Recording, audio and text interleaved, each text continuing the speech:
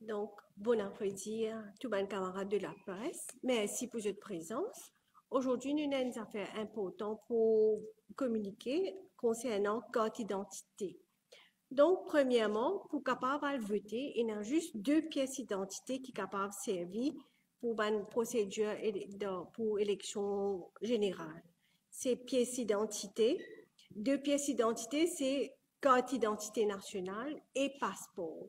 Donc, pour capable voter, un électeur examine soit ce carte d'identité ou ce passeport physique. Nous pas pour accepter euh, photocopie carte d'identité ou passeport.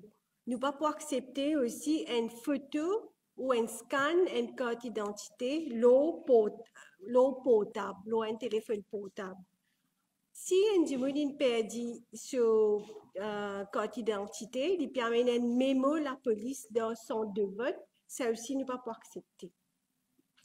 Mais, euh, mais c'est mon faire ben, pour qui un capable de faire une application pour ce code d'identité, bureau électoral, il fait un arrangement spécial avec MNIC que tu es capable de faire une euh, application du 23 novembre au 23 octobre jusqu'à vendredi 8 novembre.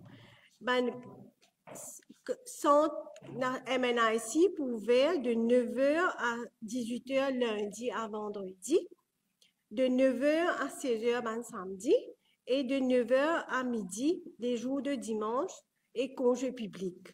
Nous invitons Benjamin qui est bizarre remplace notre carte d'identité pour aller dans différents centres. Là.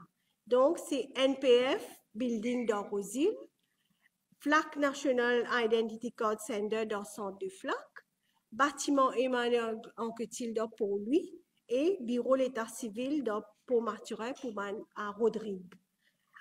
Après qu'ils ont fini, euh, normalement, pour faire application et pour recevoir, il prend huit jours. Mais nous pouvons faire un arrangement qui est le plus possible pour gagner notre carte d'identité. Et Benjamin, bien prend précaution pour, qui nous recommande Benjamin prend précaution. Mobile ID, le portable.